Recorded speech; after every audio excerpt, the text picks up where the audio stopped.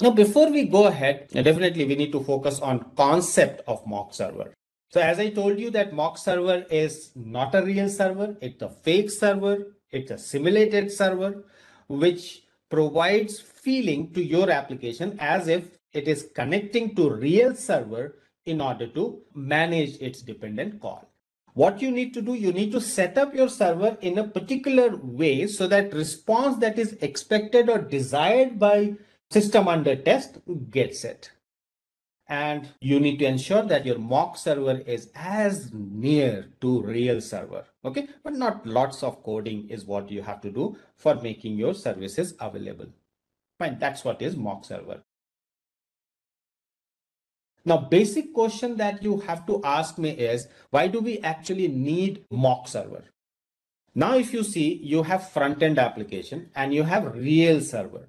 Your front-end application, which is client-facing application, need to utilize services which are hosted on real server. But unfortunately, or because of multiple reasons, you either the service is not available here or you don't intend to use those service because you will be charged. And apart from that, you know, speed will be slow, right? So what to do? What you will do, you will create a fake server. And this fake server will work on behalf of real server, returning the expected response whenever call is made to that particular endpoint. So that's what is objective or need of mock server. But just in order to keep certain points in mind, we can say that we need mock server to test our API while developing and before making the API live on the server of your organization. Second, you need to ensure that you are getting faster feedback and bugs. Third, you need to check the dependencies in your API before it is available to everyone.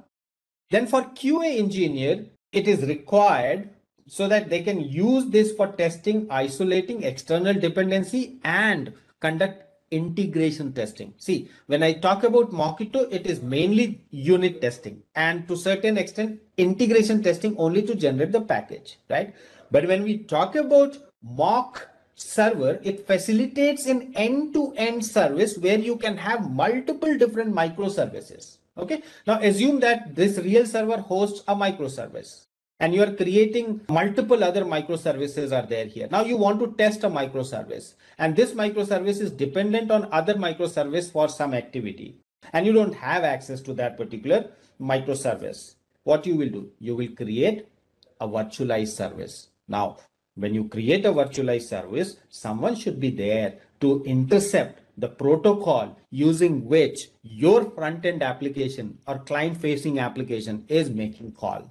That's what is overall objective. So uh, that's what I wanted to tell that, you know, by front-end developers to use it before actual endpoints are available. And it can also be used by engineers to develop a prototype of their idea to present it to investors for funding, right? Instead of writing all the microservices, you can create quickly mock, you can create front-end application and you can demonstrate entire end-to-end architecture, which actual uh, prototyped behavior and expected outcome that you want to project to your stakeholders. That's where we need, you know, uh, the mock server.